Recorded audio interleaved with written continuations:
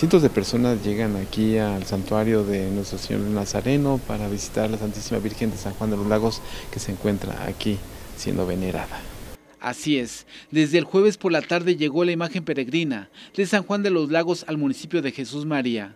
Que esté presente antes de las fiestas eh, del pueblo para que nos ayude con su intercesión y nos, nos, haga que tengamos como el año pasado saldo blanco, no tengamos tantos conflictos y dificultades. Cientos de fieles se postran a sus pies para demostrarle el amor a una madre.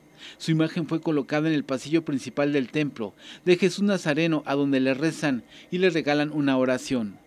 Pues es una gracia muy especial para todos los que nos consideramos católicos.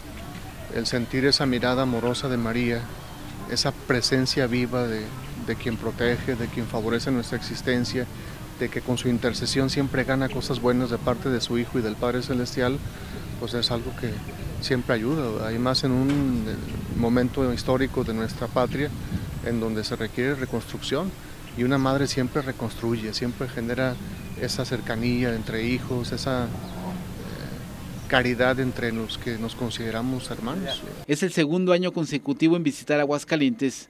Llegó el jueves por la tarde y permanecerá este viernes, mientras el sábado por la tarde regresará a San Juan de los Lagos. Esta es una oportunidad a los fieles para pagar una manda y al participar en la Eucaristía ganan indulgencias plenarias. Sí, sí, trae esa gracia, eh, la concedió el señor obispo, que puede venir a, a pagar aquí sus, sus mandas.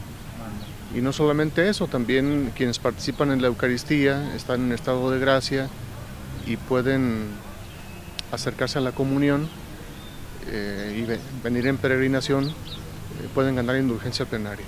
Se colocó una valla de bancas en el centro del templo para guiar a los fieles.